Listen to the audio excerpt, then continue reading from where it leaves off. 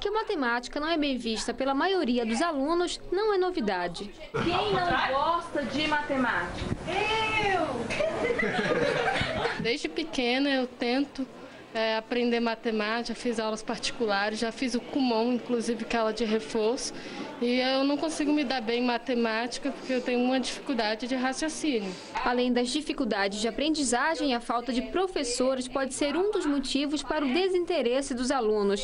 Nesta escola do Distrito Federal, os dois professores de matemática estão com a carga horária toda preenchida. Acaba que os alunos que ficam de dependência ou então têm alguma dificuldade, eles ficam desestimulados e isso é, afasta os alunos dessa área.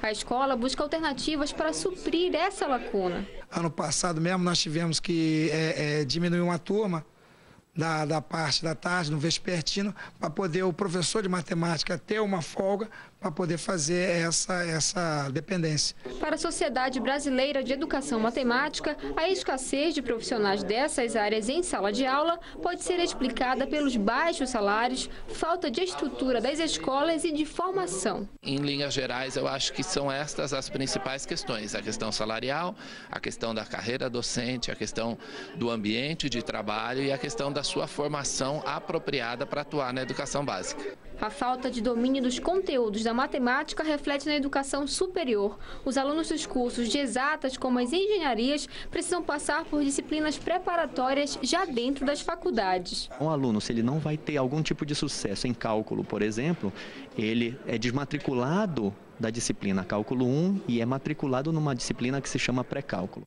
Para minimizar essas deficiências, o Ministério da Educação vai dar uma bolsa de 150 reais para os alunos do ensino médio interessados em matemática, física e química. O programa Quero Ser Cientista, Quero Ser Professor deve ser lançado até semana que vem e tem o objetivo de incentivar os alunos a se dedicarem a essas disciplinas, além de reduzir o déficit de professores nessas áreas. À medida que você estimula, que você fomenta, que você dá condições dele ter cada vez mais interesse, é, ele vai, de alguma forma, na nossa avaliação, para a área das exatas. Ou vai ser um professor, ou ele pode ser um matemático, pode ser um físico, pode ser um químico, porque o Brasil precisa de gente em todas essas disciplinas.